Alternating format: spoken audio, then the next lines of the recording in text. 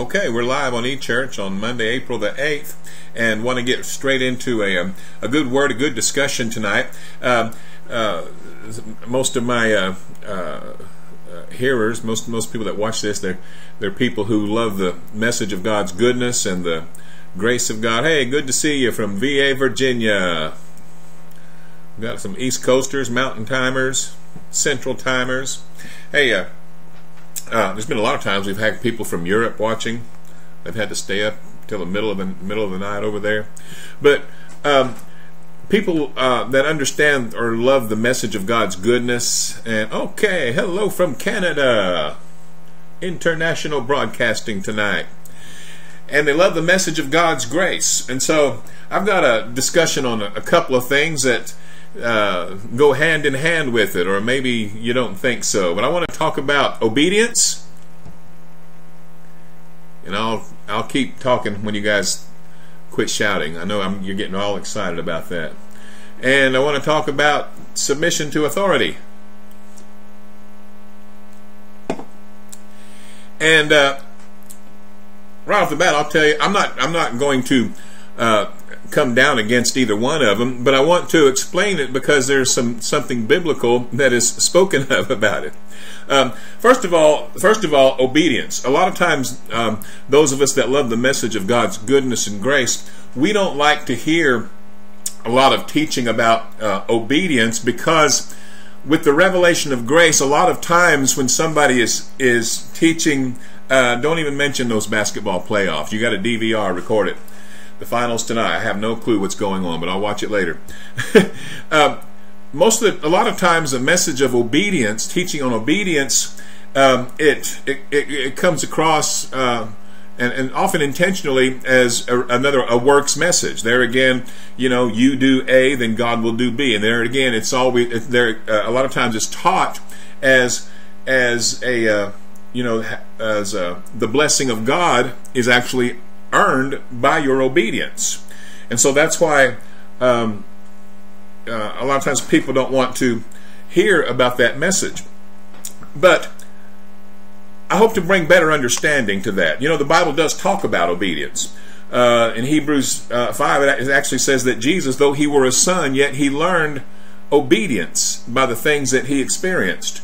Uh, Isaiah said, "The willing and obedient will eat the good of the land." We, the, you don't you don't have to uh, you know, uh, look very hard, and you find that word throughout the Old and New Testament, talking about the about uh, the obedience of Abraham. The Bible tells us to be as obedient children, to live like obedient children. So that word is all over the place, even in the New Testament.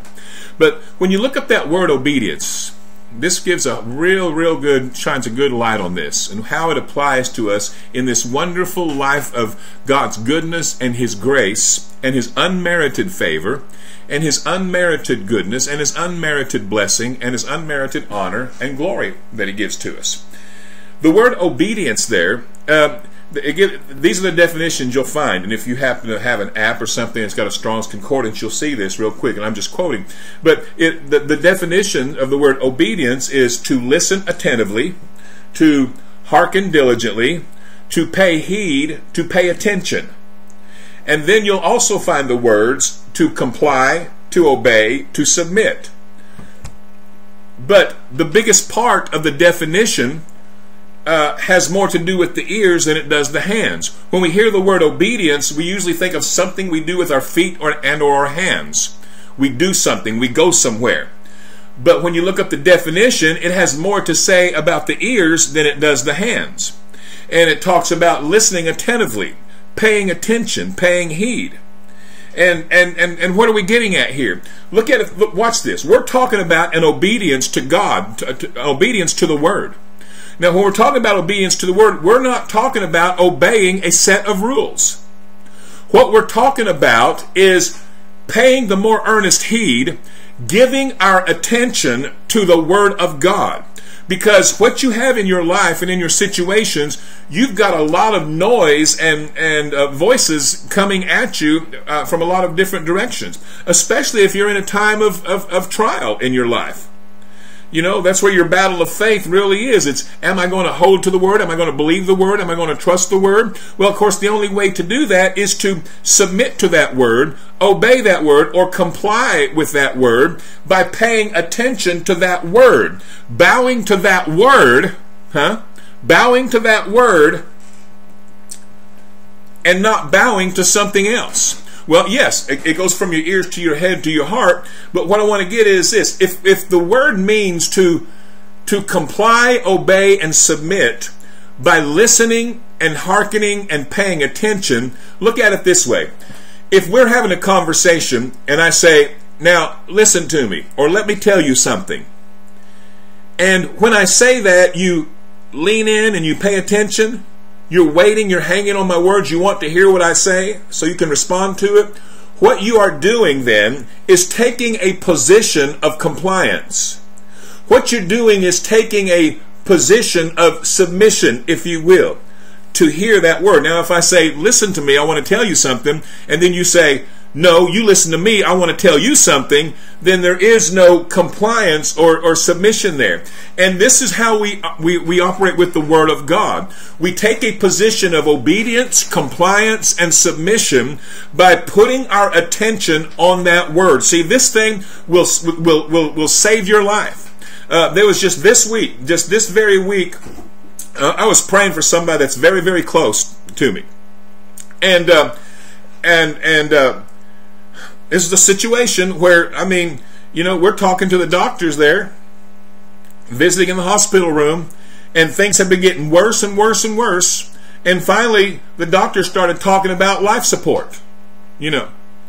And, uh, you know, what kind of decision is, is going to be made about, that, about, about that? And, and, and it's just getting worse and worse, and the doctor was acting like they don't know what's going on. And I'm thinking I'm, I'm going to I'm to lose somebody I really care about. And, uh, and, and I mean, and I'm just thinking about, my goodness, you know, what's it going to be like without them around?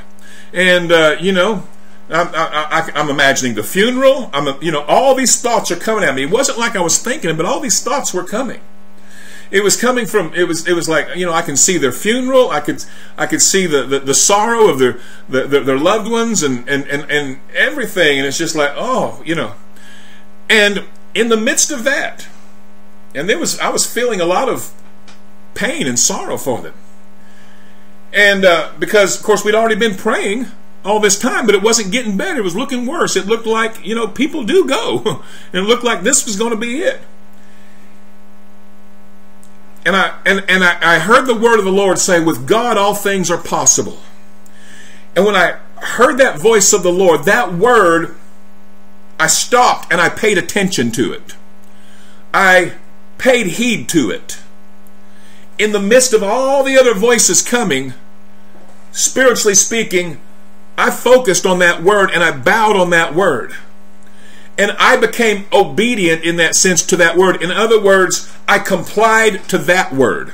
I submitted to that word in humble obedience to that. And when I did, all the other big noises that were that were hollering at me, they began to disappear and become very dim and very and, and very nothing.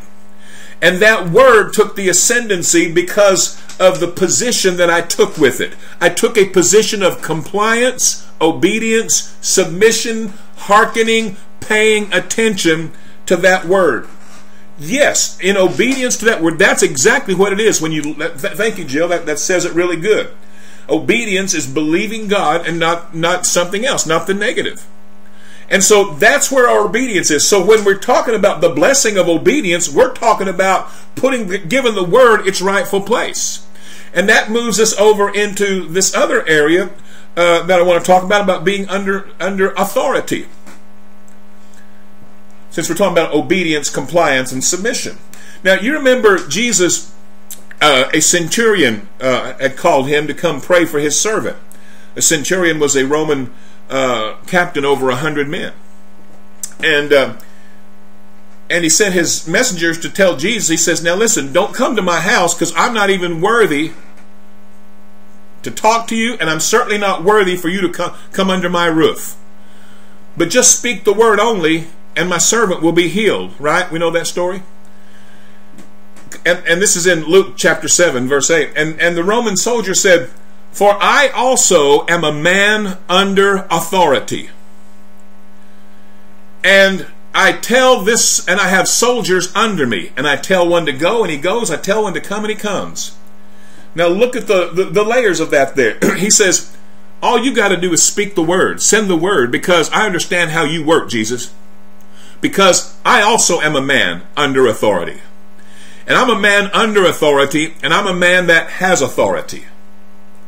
So I know all you got to do is speak. In other words, he's recognizing Jesus, I see how you're doing this. Remember, people were asking him all the time, the religious leaders, by what authority do you do these things? Why is it that you break the Sabbath? Why do you do all these other things? Why, why, why, why, why? And this Roman centurion says, I get it. I understand it because I'm also under authority. And me being under authority, I have authority. And I recognize, Jesus, that you're under authority and you have authority. Now, what, we, what we, we're talking about here? Now, watch this. Look at this word authority. Because there again, we know that that is a term like obedience that has been used and abused, right? Sometimes there have been such extremes that it has actually hurt people, has destroyed families at times.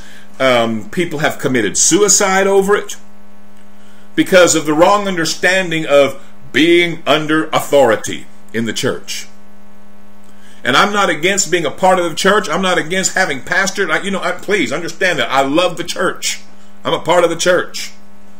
And and and and, and love the, the, the positions and the ministry gifts and all that. But you understand what I'm saying? It, it, there have been many times that it, it can be abused. It can be an abusive teaching, an abusive terminology.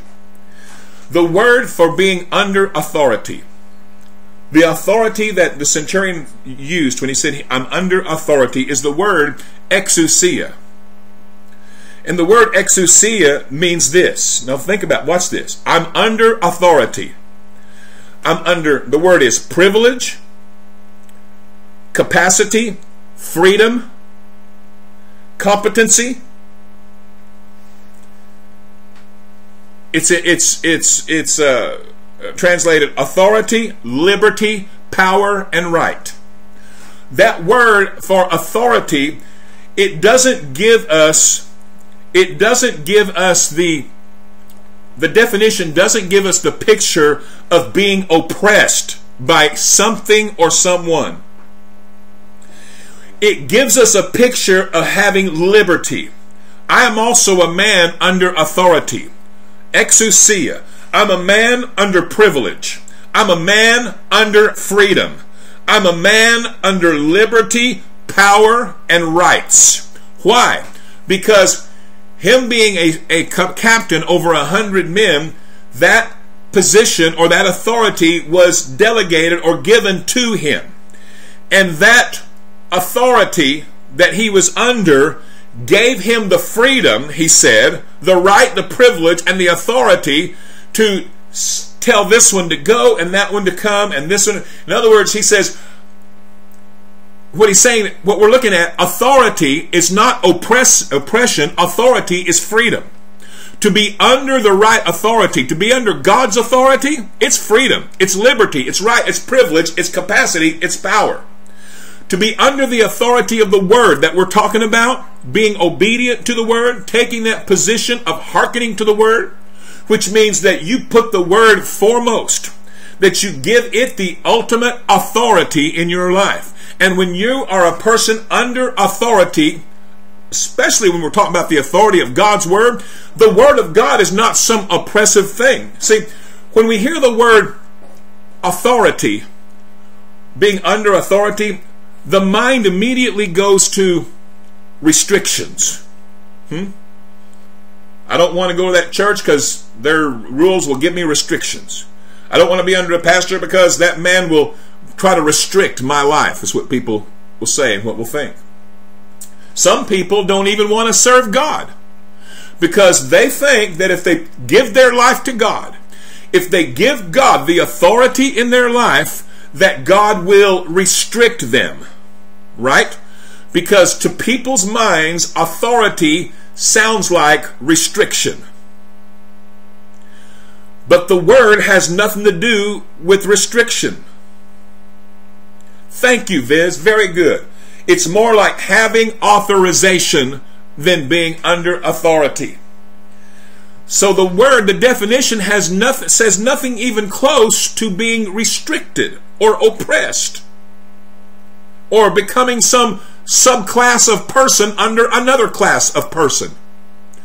The word uh, authority means privilege. So if I'm under authority, and we're talking uh, tonight, of course, of the right authority. We're not teaching you to be under oppressive authority. We're not teaching you to go find you a Hitler somewhere who can tell you what you can do and what you cannot do. We're talking about God's authority, God's word. And to be under that authority means to be under privilege, freedom, liberty, power, and right because every, mm, every word of God is has that sound. The whole thing about, about God sending His Word was to heal us and to free us from our destructions, not to put restrictions on us. That's old religious law kind of thinking. Are you hearing this? Remember when God uh, uh, gave manna in the desert? In Deuteronomy, he told them why he gave them that bread from heaven. He said, I fed you with manna so that you would learn that that's not enough. I fed you with manna so you would know that man doesn't live by bread alone, but by every word that proceeds from the mouth of God. I fed you with manna so your stomachs would be full, but you would learn that it's not good enough to have your stomachs full. You need the Word of God in your life. You don't live by bread alone, you simply exist from day to day. But a man lives by every word that proceeds from the mouth of God. Can you hear me on that back on that back row? Absolutely. You can rest in his authority because his authority, remember the Bible says in Hebrews says, his commandments are not grievous. His word that came to us came to give us privilege, rights, freedom, liberty, and power. I am a man under authority. The example I gave you of the person I was praying for this week, I was, for a while, I was being restricted. I thought the person was going to die. I wasn't feeling very happy and I wasn't feeling very powerful and I was feeling quite helpless for a time. But when I came under that word and I focused on it, I paid heed. I gave attention to it. I hearkened diligently to that word. I came under its authority. I came under compliance, submission, and obedience to that word, and it gave me privilege, right, and power. And I spoke that word and it came to pass. And that person has been totally restored back to normal just in these last few days. I went to go see that. I went to go see them in the uh, in the hospital. While I was in the elevator, uh, a, a man walked in. Oh, hallelujah! A man walked in and he says, "How's everybody doing?" Well, there's a person next to him and he says, Looks like my wife's trying to die in the in the of a stroke today. The man spoke up before I could say anything. He says, "Well, that's not going to happen." Just smiled real big. You know what? That's a man that's that's under authority. That man that You know what? When you're under authority, when you're wearing that authority, that kind of that kind of liberty, privilege, freedom, you're wearing king's garments. Because the truth is Jesus is the king of kings. He's the king, we're the kings, right? We're under authority, we live in authority. And those that submit to the authority of that word, comply with it, obey it, bow their knee to it, submit to it, they're the ones that have the power. they're the ones that have the freedom. They're the ones that have the that have the authority, the, the rights and the privileges in life, right? They're the ones that get to say things. When I submitted to the authority of that word, that with God all things were possible when it looked like all the prayers had failed and all the, the medicine had failed when I when I when I submitted to that word bam I became a person not only the authority of that word but I became a person with the authority of that word. Are you hearing me? You, you like this? I think it's pretty good This so so it's okay for the Bible to to talk so much about being obedient when we know what it is. We know what it is when we're talking about about being uh, um, uh, in, in in authority. See, He's the King of Kings, so we are under authority. But being under that authority, instead of the word authority, let me say it according to the definition. If we're under the King, as the kings under the King, then we are under authority or we are under privilege. We are under freedom. We are under power, liberty, and right. And you know what's going on? You know what you, you know what creation's groaning for? For the kings to wear their kingly garments. And this is part of what we wear. We put on authority by first being under authority. For it's he who is under authority that has authority. The centurion said, Jesus, all you got to do is say it. Because you're under authority and you have authority. I'm, I, I know how that works. Jesus said, I'm only doing. They would ask him all the time, by what authority do you do these things? Moses said to do this. Why are you doing that? Jesus said, I'm only doing what I see my Father do. I'm only saying what I hear my Father say. The Roman centurion made a profound statement. Jesus, I could, I could imagine why. Jesus marveled. He says, I've not seen this kind of faith. Not anywhere in Israel. I've been preaching here three years. I've not seen anybody that understands it like this. Not seeing any of that kind of faith. Are y'all getting this?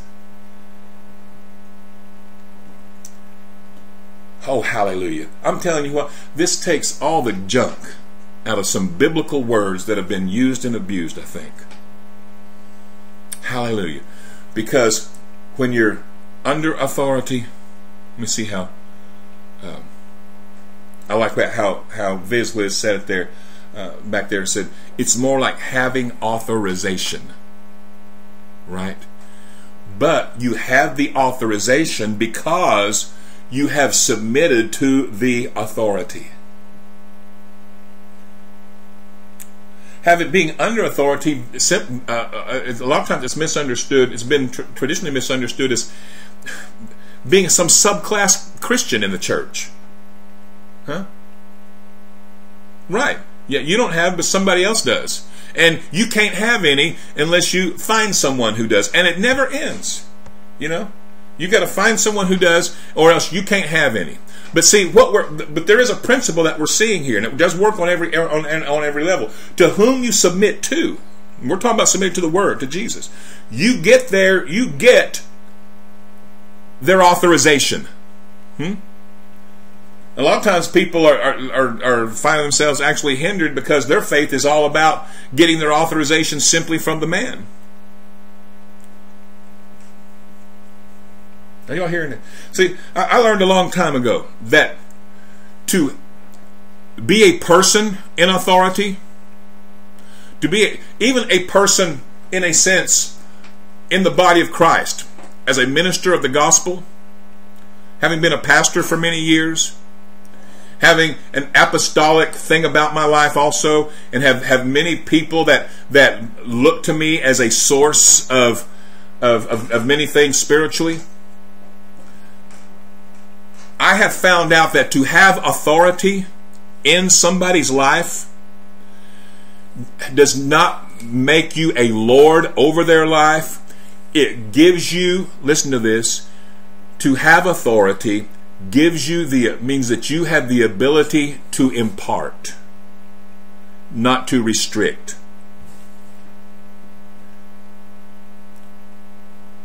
Having authority gives you the ability to impart. If you see it like that way, it works in the secular world. It'll work in business, on jobs, anything else. If you a good leader, a good mentor, a good minister, a good boss is somebody that recognizes if they've been given authority or position that what they have been given is the ability to empower and to impart. There again, that implies freedom, rights, privileges. not restrictions. And so many people have missed things about God and the Word of God because it seems like God and His Word are all about restrictions. And a lot of people, most people in the Western world that have heard something about Christianity and have rejected it up to this point, mostly they reject it because God seems like the great restrictor upon their life. I put it off for, for years. I put I, I, I put it off for quite a quite a while because I got to the point where I knew that's what I wanted to do. I knew that's what I needed to do. I knew I needed to give my heart and my life to God. I knew that. But I procrastinated for, for a long time because the sooner I gave my life to God was the sooner my, my life would become more restricted, was what I thought. I can remember, uh, you know, people ministering to me and asking me if I wanted to receive the Lord Jesus right then and there. And even though my heart was crying out for that, I would tell them over and over again, not now, not now. And it was not now because there was always a party that was going on this next weekend, or there was a concert next month, or there was something else. And I thought, if I give God my life, He's going to make me so restricted that I won't be able to do anything except go to church and read my Bible and shout hallelujah. Because I saw God as a restrictor. And if I gave Him my life, if I gave Him my heart, if I gave Him the authority in my life to lead and guide me, then he would only lead me to church, a Bible, and shouting hallelujah. but you, you know what we're talking about. You find you have found out that God is the great liberator, the emancipator. He makes your life bigger because under His authority, you become you you you become a child that's under privilege, that's under liberty, that's under freedom, that's under powers, that's under right. Amen. Isn't that good? God is amazing. God is awesome. Let's have your comments. Let's have your questions. I'll take any prayer requests. I'll take any uh, testimonies. This is E Church Live. How you guys doing? We're kings under the great king. Yeah. So I mean, and a lot of it's just it's a misunderstanding because you know in the church we throw that word grace around a lot. I, I, back I preached a lot of law when I didn't think I was preaching law, and I threw that word grace around a lot. but see, I didn't have an understanding of things. I didn't understand things like we're talking about tonight.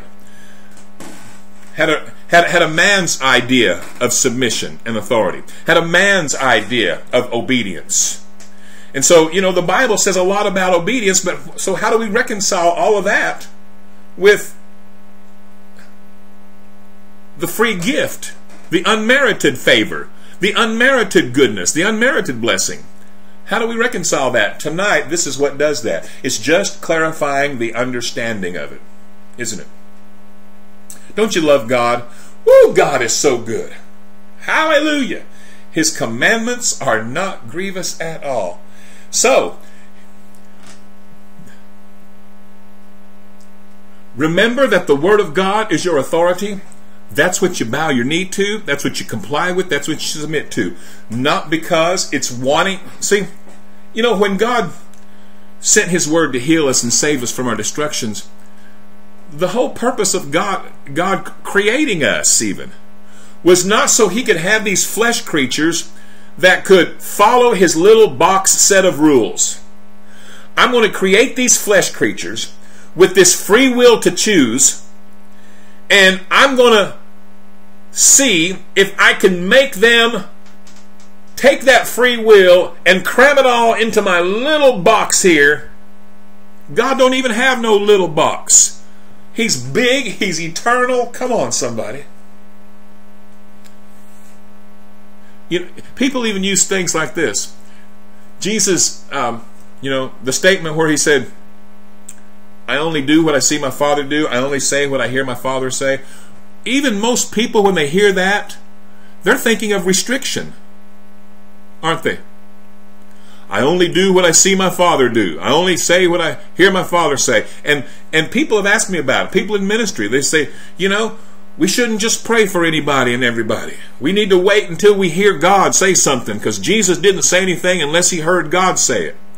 And it sounds like like like Jesus is teaching us to re, be very restrictive in what we say and do. Well, if that's the case, then why did Jesus say more than anybody has ever said? Why did Jesus do more than anybody has ever done if doing what the Father does and saying what He says is meant to restrict our language and our actions, I say to you that doing what the Father does opens up your actions to any possibilities. Saying what the Father says allows you to say more than anybody has ever said before. Isn't God good? What's your analogy?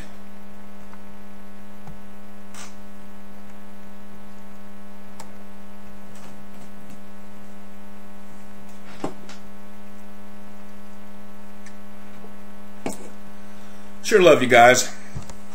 Thank you for coming out to E Church. Hope it's a blessing.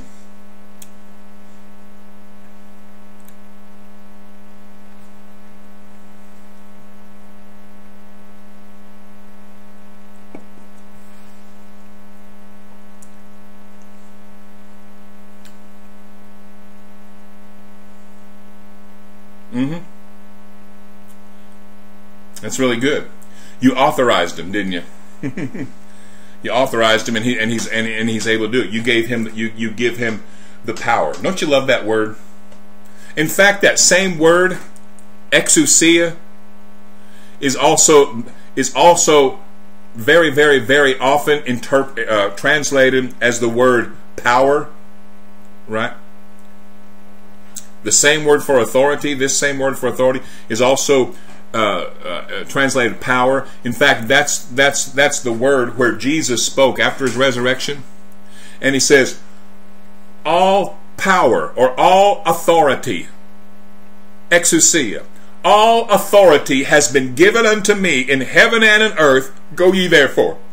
All authority, all privilege, all freedom, all capacity all authority, liberty, power, and all rights have been given unto me in heaven and in earth. Go ye therefore. I'm under that authority. Go ye therefore. You have that authority. I'm under that kind of liberty. Go in that liberty. I'm under that kind of freedom. Go in that freedom. All authority has been given unto me in heaven and in earth. Hallelujah.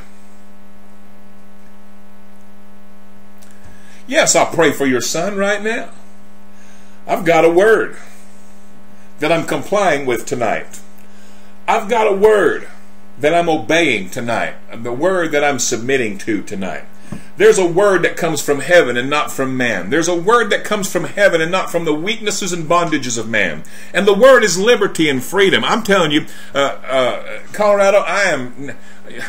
Don't you love the feeling of that power that's on the word, that anointing of God? But I am feeling a power of God operating in your situation there. It happens all the time. Right now, I'm, I'm, I'm seeing, I'm believing that, that, that that person can even wake up tomorrow and find the taste of that thing gone. I'm seeing that, that, that enemy, you know, the words in, in, in, Isaiah, one place, he says, In that day you will look for the wicked one and shall not find him, for his place will not be there. And that's what happens. For every enemy, there's an end of that enemy. And I thank you, Father, for liberty and freedom. I speak that. And I, I thank you, Father, for the power of that in operation. I thank you for liberty and freedom that's happening right now by the power of your Spirit and only what you can do. Thank you for your word tonight. Thank you for the, for the liberty tonight. Thank you for that kind of privilege and rights and the authority of the Word of God. We give you praise tonight. In Jesus' name, amen, amen, amen. Hallelujah. Yeah, yeah, I'll mention that manna again. Well, you know, what, I said was God gave them that manna and said the reason he gave it to them so that they would know that know that that's not enough. Um, really what I was what I was getting at was this that that what we live by is every word that proceeds from the mouth of God. That word is what causes us to live and it gives us life. It gives us real life. It gives us kingdom life, the God kind of life. And that word, that word is more than enough for you. And what I am, what I have found out over the years, this is so true, and it just keeps me going strong in victory after victory after victory.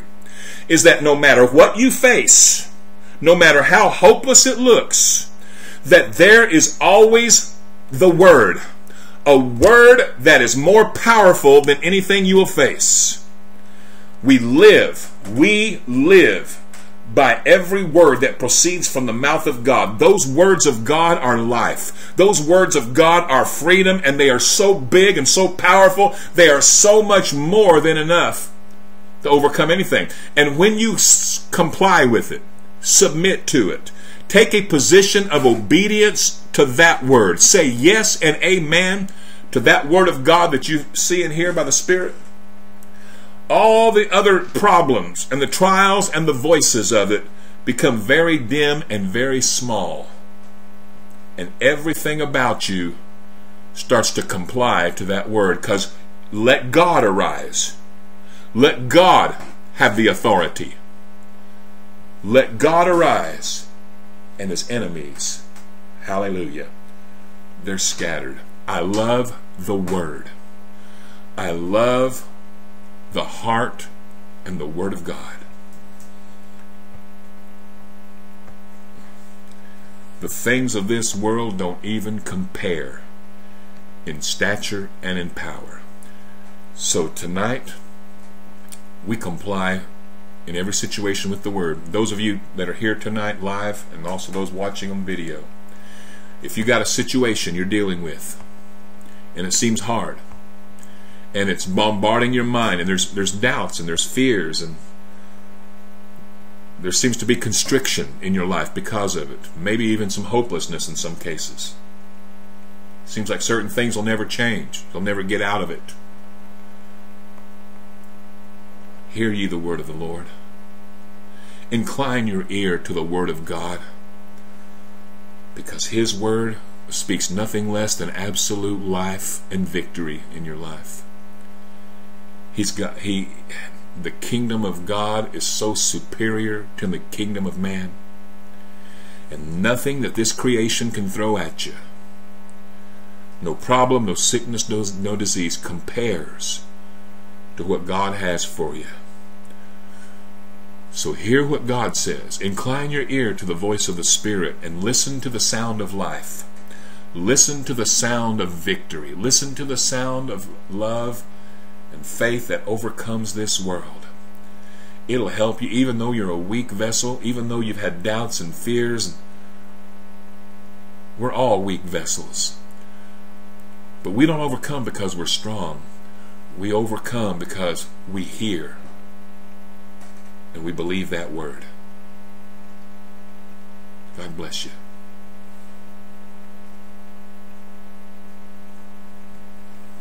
Uh, without looking it up, Cessna, that's in Deuteronomy. About De- I'm thinking like around Deuteronomy eight, but uh, just throwing off the top of my head, it's it's in that area. You know where he where, where he talks about that, where he explains why he gave them the manna.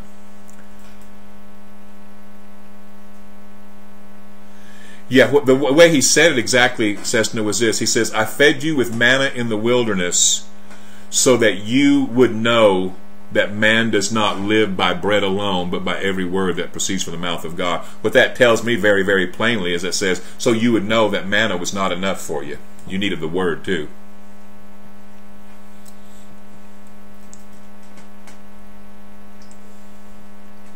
Yes, I sure will. I sure will. God's got direction for you. Many times your geographic uh, uh, location is, is, is really tied to a lot of blessings. So God wants to lead you and guide you in the right way. And I'm praying right now. What I'm what I'm saying uh, to you right now, what the Spirit of God would say to you that that uh, it'll be well with you. You'll know. Just have peace about it now. You're going to know. Don't be anxious about it. You'll just know. You'll just know. Just like you know when you have fallen in love with somebody and you got no other kind of proof, you just know and you're going to know, and you're going to know the right time and place, and uh, you're going to have going to know that the provision, the job, and everything else, it's going to fall right in line. See, that's the way it's going to be. That's the word for you tonight. There's great power in having peace and assurance in the God of in God's word. For there again, when we receive that peace and assurance, we've taken a position of compliance and submission to that word. And there's power in that. There's power in taking a position of compliance and submission to it because when you do that, you're under its privileges. You're under its freedom and its authority. Amen. Okay, you found it. So it was in Deuteronomy 8. Okay, any other prayer request uh, tonight? I've sure enjoyed being with you again. I love I love the dynamic of e-church. I love the, that we're able to chat and communicate like this. Uh, I have the best friends in the world, I'm so glad to be with you on Monday nights. And uh, I'll be back again next Monday. Yeah, isn't that good? Isn't that good? Peace and assurance and all the privileges of being under the authority of that wonderful, powerful word.